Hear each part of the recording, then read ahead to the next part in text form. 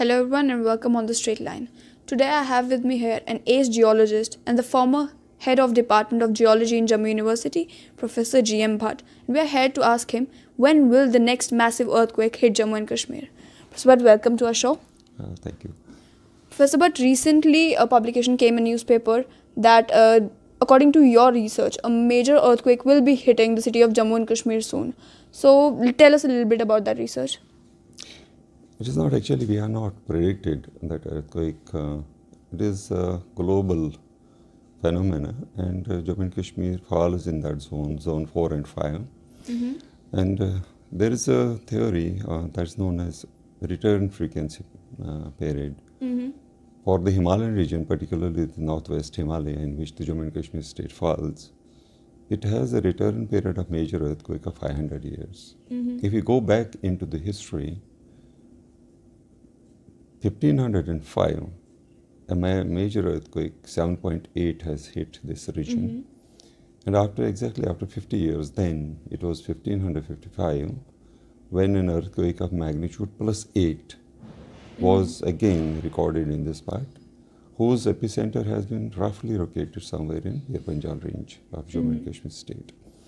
So, on the basis of 500 return period, scientists globally, including the famous geologist, uh, seismologist Roger Bilham, he has uh, forecasted an earthquake of magnitude. Initially, he said 8.5, 8.4. Later on, in 2013, he said it will be 9 and 9 plus. So, these are the theories which are being uh, propagated about the earthquake, future earthquakes in Jammu and Kashmir state. But we cannot rule out the earthquake magnitude around 8 that is likely in this part of the Jammu and Kashmir state or Himalayan state of Jammu and Kashmir, which will affect definitely the surrounding states. Even it may affect Punjab, Jammu and Kashmir, Pakistan part, and Himachal. We have a history in this region, say Kangra earthquake, Mm-hmm.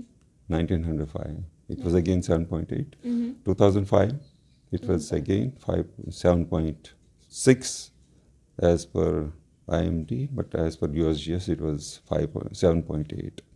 Mm-hmm. So these theories, when we take into account what has happened in the past in this region, say around next maybe 40, 50 years, we can we can expect an earthquake of magnitude at least eight in this region. So what about these concurrent uh, earthquakes that have been happening in the Doda region or the minor earthquakes that happen here? Will that have any effect on the earthquake that will happen in maybe 40 years, you say? Earthquakes in 2013 earthquakes of uh, Doda district. That is a local phenomenon. The, uh, the last one, which occurred in April and May that year, the magnitude was 5.4, and initially it was 5.7, then recalculated 5.4. And uh, these are minor earthquakes, or you can say moderate earthquakes. Earthquake of magnitude plus 6 or plus 7 that are concerned. We should be concerned about those earthquakes. And similarly, earthquakes which are occurring in the northwest part, Pakistan or around Uri or Muzaffarabad. Again, there is a cluster where the earthquakes are occurring. Other earthquakes which we feel in Jammu and Kashmir state, their epicenter is in um, the Pamirs or Hindu Kush region. They would not be devastating for Jammu and Kashmir state. Whatever will happen within the Jammu and Kashmir with epicenter, we should be concerned about that. The major earthquake that you're talking about, which could be the possible epicenters of that? It is very difficult to say. As per Bilham, initially he used to say epicenter will be Pir Panjal. Mm-hmm. But in 2014 paper, which was published in Nature, he said it will be in Zanskar region. Mm-hmm. So it will be somewhere in Jammu and Kashmir uh, state, but we don't know exactly where it will be. And which will be the areas most affected by it? Earthquake magnitude 8 means devastation throughout Jammu and Kashmir and surrounding states. It mm-hmm. hardly matters where it will occur, where the epicenter will be. Particularly the pattern of construction, uh, even structure buildings which we construct in Jammu and Kashmir state. If we take them into account, so it will be a total destruction if it is 8 magnitude. Recently, last year, there was uh, again news quoting the Arizona University scientists who have conducted research in Jammu region around this uh, Vaishno Devi, Reasi area. They have forecasted this is a hot region. Maybe epicenter will be here. If it is epicenter is in around mm-hmm. Reasi, then you can understand what will happen to Jammu and Kashmir state, Srinagar or Jammu, or mm-hmm. even for that matter nearby state, states, Punjab or Pakistan, Lahore, or maybe Kangra. That will be total devastation. Like the areas of construction you talked about, areas of old city where the buildings are jam packed together and uh, they are in very old, dilapidated conditions. Yeah. So will they be the most affected places? And what is being done to you know safeguard them? If we talk about the old city of Jammu, it is a death trap.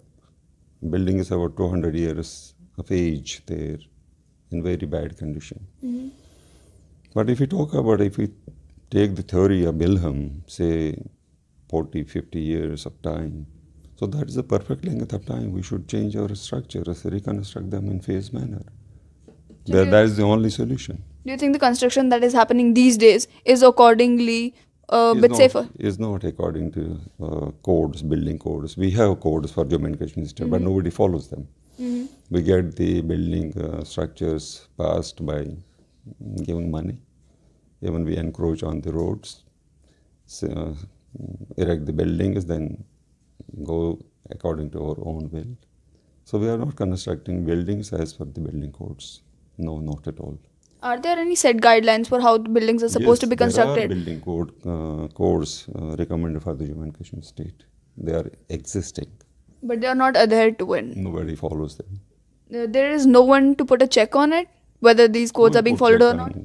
Those uh, who are at the helm of affairs, the government, they should put a check, but they are not. They're not. Uh, a question that does come to mind is this university, this department. Do you think it is according to the standards like it's supposed to be? Yes, our, at least our building is this geology department is according to standards. Yeah, Okay, at least that is a relief. this As- is earthquake proof building. Mhm. I'd like to understand from you uh, regarding the tectonic plate shift, and that is how the earthquakes come, right? So, what is the basic research that you have done on it? Tectonic plates are moving and stress is developing within the rocks with passage of time. At the threshold, when that is reached, rocks break and shaking of the earth takes place. We are monitoring, there are a number of agencies who have put their seismic mm-hmm. observatories in Jammu and Kashmir state, sponsored by Minister of Earth Sciences. Say, for example, we have eight plus 16, or 24 with ONG, uh, NGRI. Then we have eight independently, Jammu University, throughout the state, they are there. We are monitoring the seismic activity in Jammu and Kashmir for last almost 10 years. We placed them in 2009. 10 years data doesn't matter much. We cannot predict anything on this because it is long-term process, generating of stress within the rocks, what is happening. But so far, what is uh, our results show there are two main clusters in the and Kashmir state where these minor earthquakes are frequently occurring. A low magnitude, 2, 3, mm-hmm. sometimes 4, 4.5. One is this Kishtwar or Doda area, and another is mm-hmm. around Muzaffarabad, Uri sector. These are the two clusters mm-hmm. where earthquake activity is there. Rest of the area between, say, Muzaffarabad and Doda or Chamba, we can say, the in between this area is totally blocked. Nothing is happening. So this can be a possible. You are monitoring the center. activities. So, do you think that before that major earthquake hits, you will be given with enough time frame to give a warning, to issue a warning No, that such kind of all. thing? It is not possible at this stage. No. Not possible at this stage. No. Afterwards, before the earthquake uh, occurs, a little time frame before that, maybe a year, maybe two years before that, would you be No, able you to? can you can forecast it. Prediction is impossible at this stage, particularly for Jammu and Kashmir. We don't have data for a long time. Ten years data means nothing. You don't have data for a long time. Long time. You Why? need at least uh, data for 100, 150 years. Then you can say something about this. What will happen in future? so the data wasn't being recorded before, or what? No. There was maybe one or two instruments were here and there, but uh, there is no good data for 100 years for the region to say something about future. We do have data for Jammu and Kashmir region for last 10 years, nothing more. What about now? Is the government serious about the research? I don't know, you may be knowing better. According to your work, do you think that uh, you get enough support for monitoring, for doing your research? We are getting support from Ministry of Earth Sciences, Government of India. We have at the moment with uh, Mhm. uh, NGRI, we have 24 mm, these seismic observatories in Jammu and Kashmir state. We are recording it. And similarly, this Mata Vaishno Devi, uh, they are in collaboration with some agencies in India and abroad. They have their own setup here. Mhm. So But- now the monitoring is going on, but the data is of meager nature. Regarding the Srimata Vaishno Devi, how many landslides occur there occasionally? Every other day we hear about there are landslides happening there. What is the reason for that? And have they followed the exact codes that are supposed to be followed while cutting the roads and everything? Do you mean that uh, track to Vaishno Devi? Yeah, Mata the track to Vaishno Devi? Vaishno Devi. There's human interference because of that. But uh, earthquakes also bring landslides.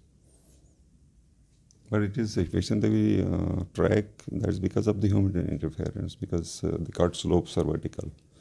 It is natural by under the gravity influence of gravity those rocks are falling. So are there guidelines that the how the cut is supposed to be? Yes, engineers should know. They, uh, yes, road builders should know. And There are guidelines, yes. and again, do they follow those guidelines? Certainly not. Not. Not.